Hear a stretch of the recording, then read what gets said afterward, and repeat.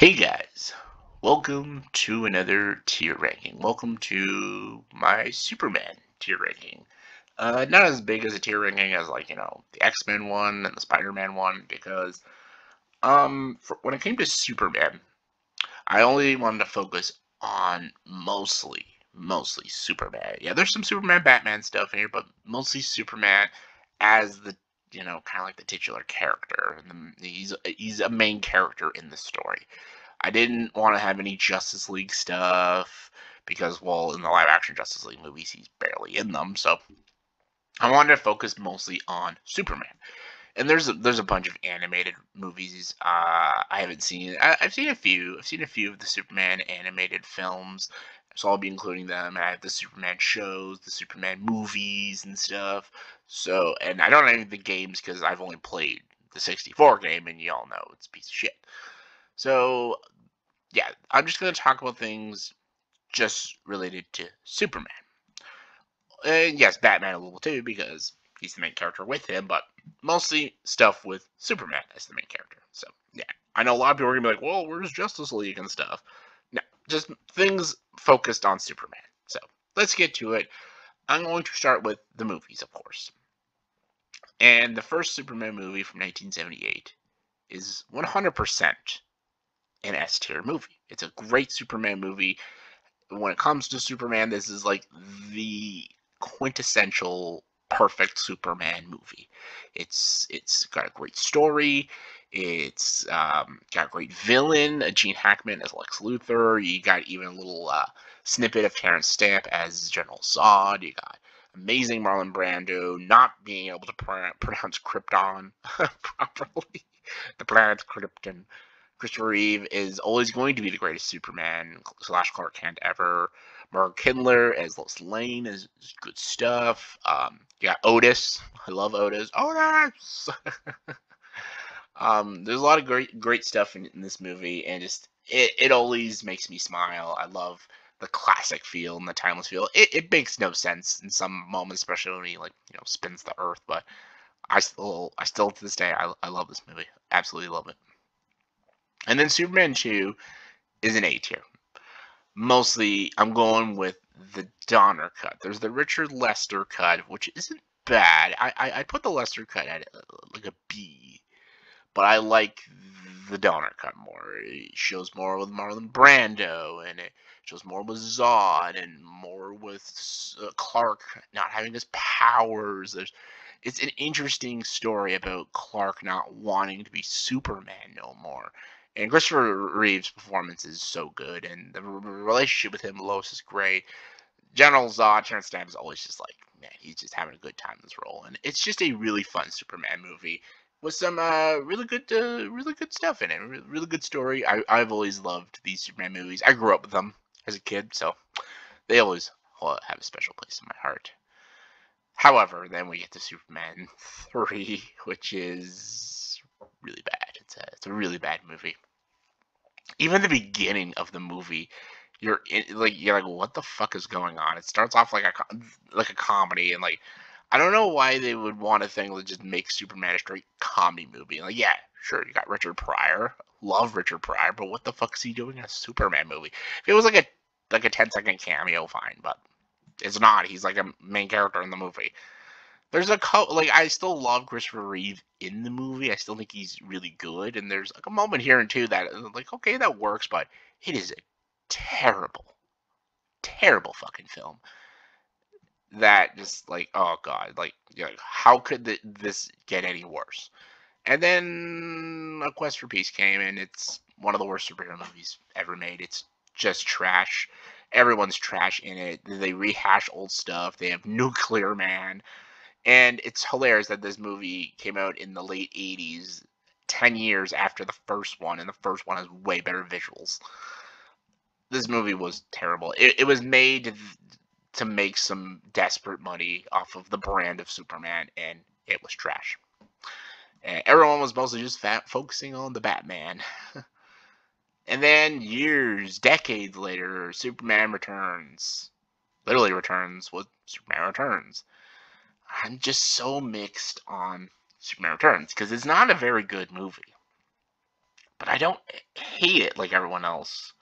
I'll go I'll go C for Superman Returns because it's not a very good movie because it's very long and very boring. However, if you watch the director's cut, the opening is just fucking solid, and it was really great to see Marlon Brando again. Um, I think Brandon Routh tries his best. He's a decent Superman. He's an awful Clark Kent. Kate Bosworth is terrible Lois Lane. Kevin Spacey is trying his Lex. Just I don't know. The action that is in the movie is really good. Like there's some solid action scenes. The airplane scene is eh, the airplane scene's fantastic, and there is some interesting stuff in it. But there's also a lot of stupid things in it, and just I'm always like up and down on this movie. I don't hate it like everyone else, but I don't think it's very good. It's more just like an average movie. And speaking of average, uh, Man of Steel is also an average movie. And I know everyone, the, the people love it. People love this movie. I think it's just okay. I know I used to like hate on this movie, and after rewatching it a few times, I've grown a little more appreciation towards it, but not much appreciation because it's still not a very good movie. Henry Cavill is interesting Superman. I think Amy Adams is a terrible Lois Lane, just as terrible as Kate Bosworth was. I think Kevin Costner is a pretty okay Jonathan Kent. I love Russell Crowe as Jor-El. I think he's a great Jor-El.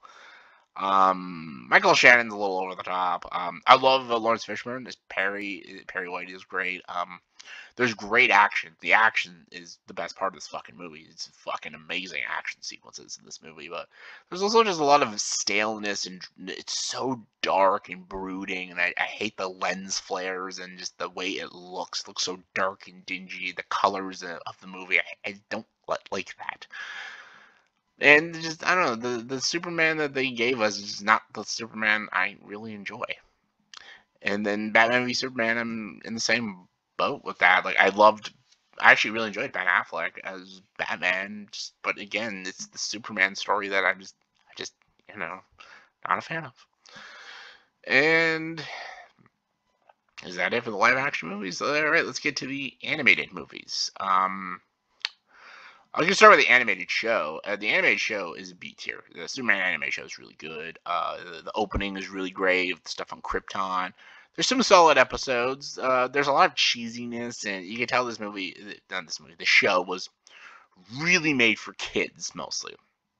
Like when you watch Batman animated series, you can tell that was made for everybody. This one did gear a little more to the kids, but still enjoyed it. And then there's the animated movies. Uh, Doomsday is also is a pretty good one. Um, I, I liked the Superman Doomsday movie. I, I liked James Marsters as Lex Luthor, and the stuff with Lex Luthor is really great. Uh, that he's so obsessed of being Superman, he clones a Superman just so he can like beat him to death. The stuff with Doomsday is cool. The action's cool, but again, it's a little short and a little rushed. Um, Superman All Star is trash. I fucking hate this movie. I think it's terrible. I think the animation is fucking hideous. And it is the most shittiest story out of all Superman stories. It's so bad. And Superman Batman Apocalypse is not much better. However, Public Enemies was a lot. It was fun. I, I thought Public Enemies was pretty enjoyable. That Superman and Batman are like enemy number one, and all these villains are after them. It's pretty cool, like Metallo and stuff it's it's like a fun movie. It's it's like a fun action buddy movie. All right, let's get to the shows. All right, we got Dean Cain's Lois and Clark. Lois and Clark was a pretty fun show. It's cheesy. It's very soap opera, so very soap opera esque. It's it's it's corny, but it's it's enjoyable. It's not meant to be like an action show. It's meant to be like a fun romantic comedy, and it works for what it is. And then there's Smallville, which I've always adored because I, grew up with it. But it there's a lot of it that doesn't work. I'm gonna go B for Smallville. I think Tom Welling is a fantastic Clark Kent. I think he's the best Clark Kent we've ever seen. He's the best. His Superman is lacking. Still, that goes to Chris Reeve, but uh, his Clark Kent is incredible, top notch, best Clark Kent you'll ever watch And like Superman growing up in high school and dealing with all, all the stuff is great. Michael Rosenbaum is the best Lex Luthor I've seen. He's a great Lex Luthor. Their friendship is so fascinating, and it turns to like this enemy and turns into these enemies. It's actually sad watching the friendship break apart, and and like there's great stuff, and how it leads into Superman is good, really good stuff. However, there's a lot of teen bullshit.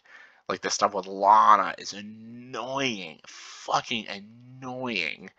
And that like drags on for like five seasons and it's really really annoying. The high school stuff can be a little stupid. There's a lot of like borrowed tropes from like buffy the vampire slayer like the monster of the week but this one it's like the meteor meteor infected of the week and it's a little ridiculous.